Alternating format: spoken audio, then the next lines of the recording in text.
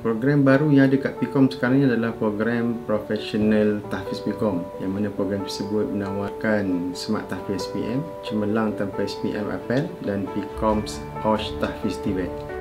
Okay, sebenarnya program Profesional Tahfiz PIKOM adalah membantu anak-anak asnaf khususnya pelajar-pelajar tahfiz yang berkelayakan. Program ini memberi peluang kepada anak-anak tahfiz ini untuk melanjutkan pengajian ke peringkat yang lebih tinggi dalam bidang akademik maupun bidang kemahiran. Selain itu, program ini membuka peluang yang cerah kepada mereka untuk menempatkan diri dalam industri.